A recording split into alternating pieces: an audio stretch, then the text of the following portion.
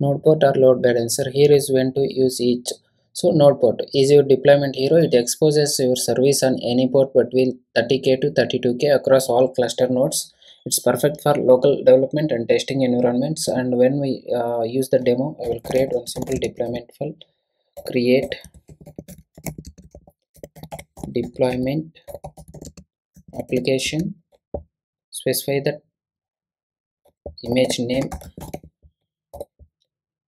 nginx okay. Now the application was created.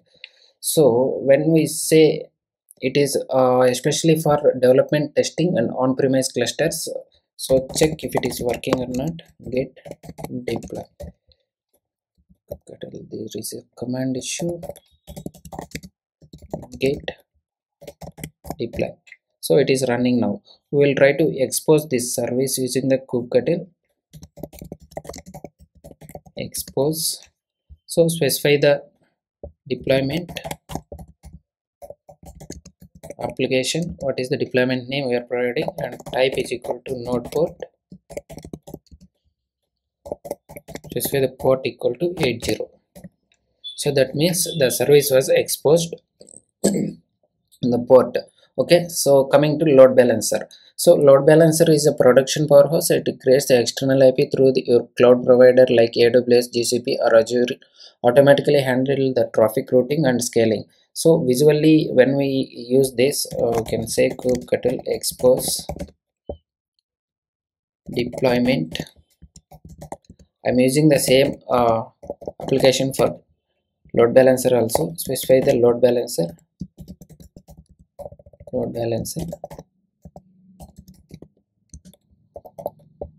port equal to 80 error from server. Because the server is already a service is already exist so it is giving the error. So you can use the some other uh, service name. So that is the quick and compare. Updation time at is the node port is free and manual ip development and testing only. Load balancer is cloud cost and optimized for uh, based on the cloud provider and auto ip address will be and production ready. So for more uh, kubernetes tips follow code with chandra for kubernetes networking tips. And here is the simple uh, breakdown i will show you. This is the complete overview. Node port and use cases with the demo. And load balancer use case with the demo and quick comparison. So don't forget to subscribe if